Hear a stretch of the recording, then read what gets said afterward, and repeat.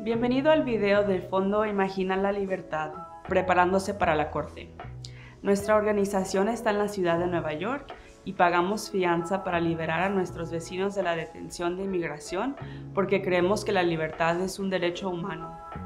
Brindamos apoyo después de pagar la fianza y luchamos para poner fin a los sistemas penales legales y de inmigración interconectados.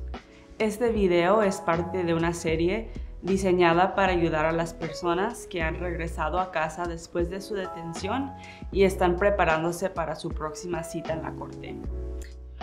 ¿Cómo encontrar su próxima cita en la corte? Debería recibir un aviso por correo con la próxima fecha en la corte con al menos 10 días de anticipación. Se supone que la corte va a notificar de esta manera. El problema es que la corte puede cometer errores. Ah, si el aviso se pierde en el correo o se envía a una dirección equivocada, podría perder su cita. Esto impactaría su caso de una manera enorme. Cuando no se presenta a la corte, el juez de inmigración puede ordenar que sea removed in absentia o deportado por su ausencia. Para confirmar su fecha en la corte en línea, use este sitio de internet llamado El Portal.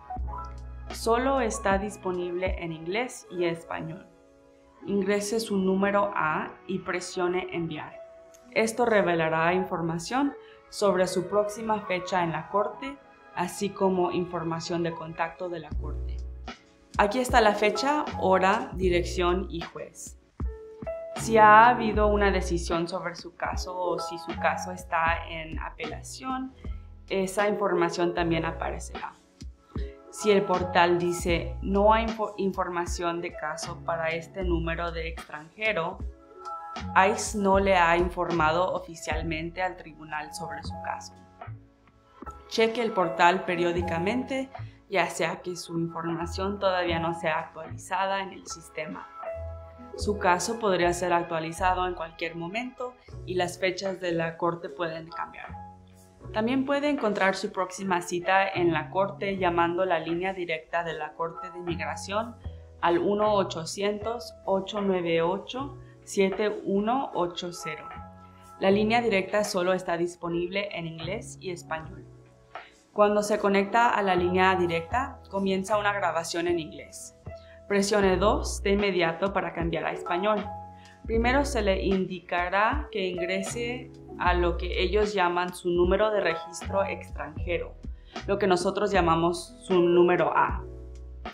Ingrese su número A y después presione el número 1. La grabación lee su nombre completo, empezando con su apellido primero, eh, deletreando letra por letra.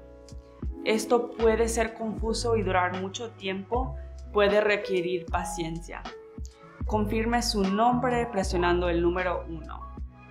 Luego, cuando se le solicite, presione el número 1 nuevamente para obtener información sobre su próxima audiencia en la corte.